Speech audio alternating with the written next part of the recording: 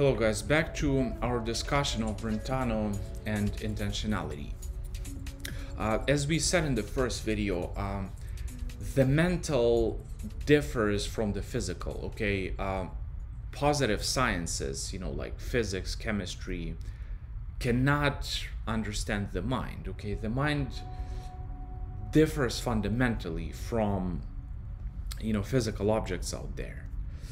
Um, so that's what intentionality is all about. You know, intentionality is the key thing to understanding the difference between the mental and the physical. Okay, so um,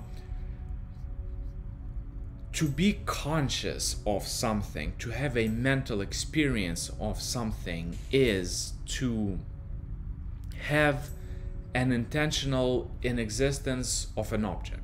Okay, this is essentially what intentionality is, and I know this definition is really hard to understand, and if you're new to this, uh, might be truly, truly incomprehensible. So let's uh, break this down a little bit more. Um, consciousness um, is not consciousness of everything.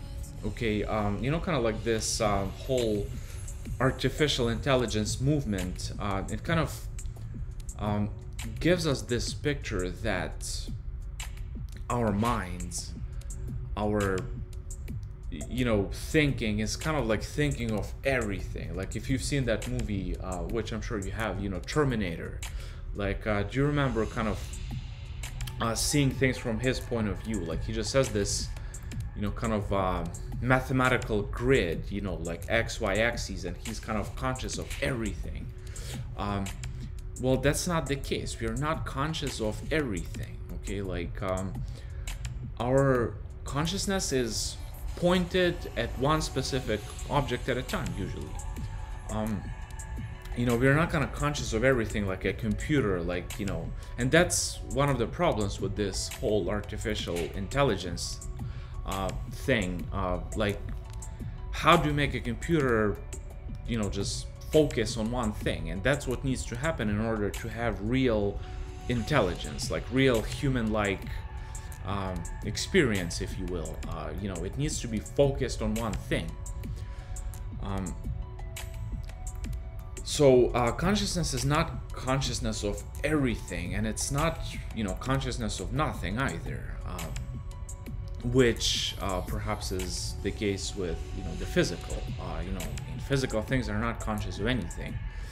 Um, and if you, you know, think about it, it's, it's a really interesting sort of uh, middle ground okay like we have let's say sort of god or artificial intellect which is just conscious of everything everything.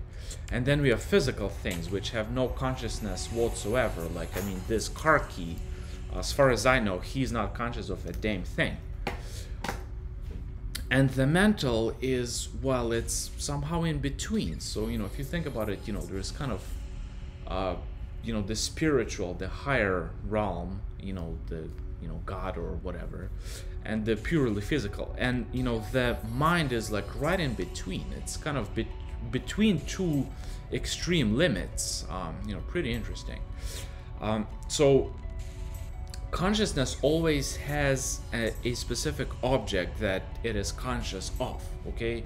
Not consciousness of everything and not consciousness of nothing. It's consciousness of a particular object. It's being directed at a specific object. It's um, it has that object as intentionally in existing. Okay, and this you know that's the way Brentano puts it.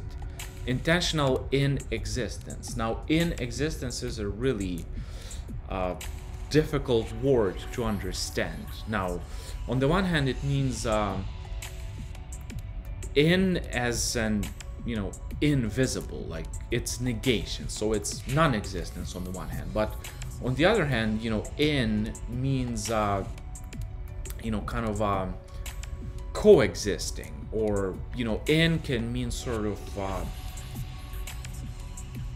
you know, uh, existing in a different way. Like, um,